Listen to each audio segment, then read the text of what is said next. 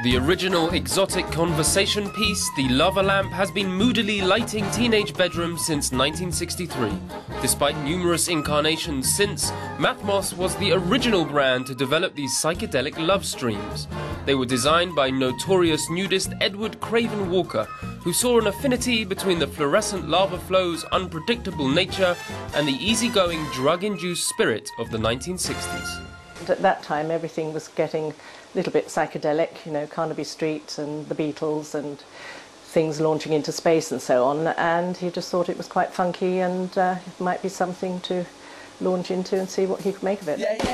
Craven Walker was inspired by an odd-looking liquid-filled egg timer he spotted in a pub in southwest Britain.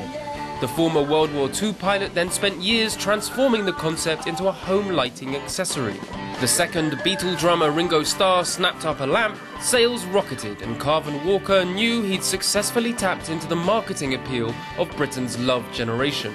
At a time when space was being conquered and the future was the spirit of the time, the lava lamp was an easy sell. Back in Poole, Mathmos lava lamps are still being made using the traditional design, based on two liquids of slightly different density which don't mix. The heavier liquid sinks to the bottom, but when heated by the lamplight, its density decreases and it floats to the top.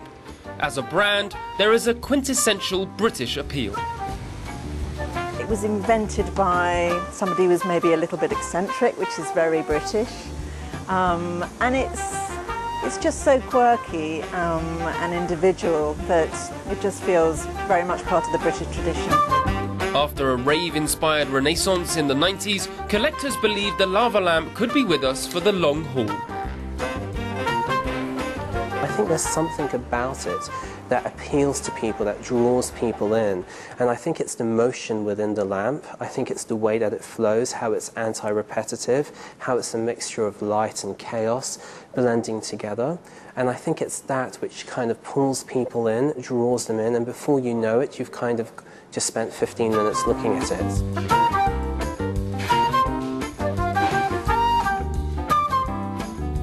Seemingly exempt from the decline of British manufacturing, the lava lamp looks set to celebrate half a century on the shelves in suitably groovy style.